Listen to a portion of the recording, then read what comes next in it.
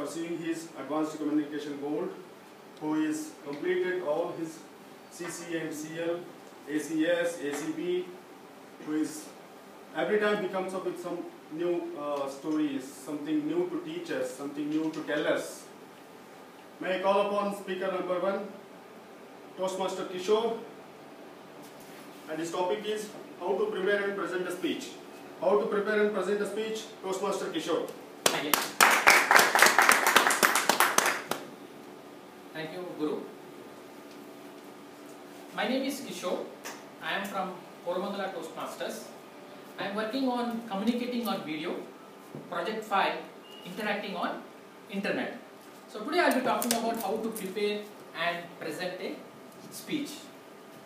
How many of you are still relying on your notes for your next speeches? Good. Normally doesn't encourage for you to rely on notes. The reason is there are a couple of reasons. Eye contact, rhythm, confidence, connection to the audience, all are all are lost if at all you rely on notes. And also if at all you want to go for contest, relying on notes will not work out. Do you think that memorization will help you? No. It is very difficult to memorize a 5 to 7 minutes of speech. I have delivered around 30 plus speeches. Only one speech I tried to memorize and I fumbled, fumbled badly. Good day, fellow Toastmasters, and welcome guests. Today I am going to talk about how to prepare and uh, present a speech. I am going to share some of the ideas how you can much better prepare a present speech. So, what is the first one? Decide on a subject. So, you need to decide on a subject. This is the very crucial for you. The best thing is from your past experiences. The best option is from your past experiences because the experiences you already faced. I have delivered so many speeches. The reason behind is all are my experiences. The, the, the advantage of experience is you have already gone through the flow. Then you can deliver. If at all you are going to deliver something a new speech, then you need to experiment and you need to plan for it. So the one of the best option is what? You need to select a subject which is already experienced. So you need to be very clear when selecting a subject. You know whether you want to motivate the audience, whether you want to entertain the audience, whether you want to inspire the audience, whether you want to pursue the audience. Based on that, you need to select the objects. And in Toastmaster International, there are clearly guidelines are there for every project what you want to do, whether you want to entertain or whether you want to inspire the audience.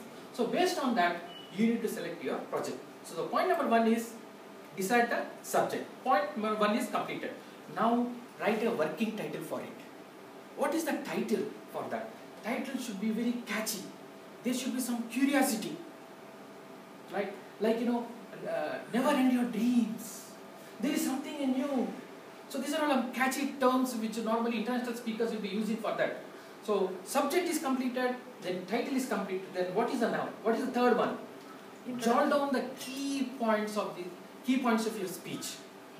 Like you know, write point number one, point number two, point number three, point number four, point number five. So whatever your speech, you divide into five parts and keep it point by point.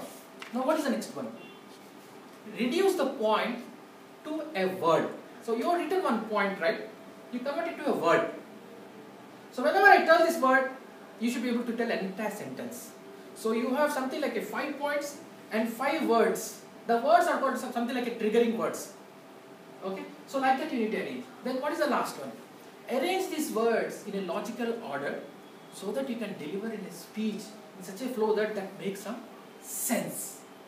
So these are the five words. One is what is that? Describe first decide on a subject. The second one, write down a working title. Third one, jot down key points of the speech. Fourth one, reduce to a word. reduce to a word, reduce the key points to a word, and fifth one, arrange all these words in a logical order so that you can deliver your speech in a, in a much much makes sense.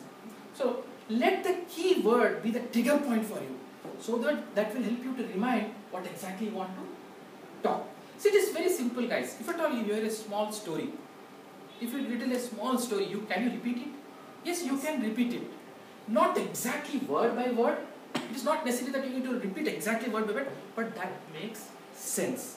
Most of the people they think that you know we need to remember word by word, word by word. No, no, no. That is not accepted.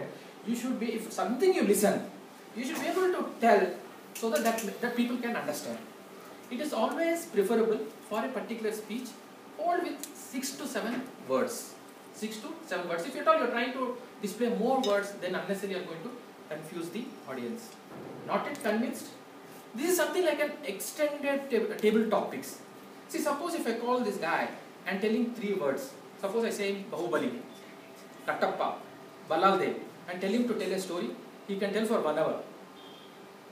So the, the whole idea of what I'm telling is let stories be your speeches. Let stories be your speeches. Anybody, stories are so good. Stories are so powerful. So let stories be your future speeches and let the word trigger you, remind you what exactly you want to. So to just to summarize, so these are the five points. You first is the first point. Decide on a subject. Decide on a subject. Write a working title for it. Jot down the key points of the particular speech. Reduce the key point to a Word. word, then arrange this word in a certain logical orders so that you can deliver your speech in a much sense that makes sense. Hope I have helped you to make your you know, speech. If at all you if at all you follow this, maybe you become a best speaker. That's all from my side. Over to MC of the day. Thank you, Toastmaster Kishore. That was a very nice uh, speech by Toastmaster Kishore. He gave us some brief, uh, basic points how we can create our own speeches with a simple subject and a simple title, and uh, what are the points we need to have in our mind so that we can, with the trigger points, we can elaborate it further and uh, we can give a good speech. Thank you, Toastmaster Kishore. Now moving on.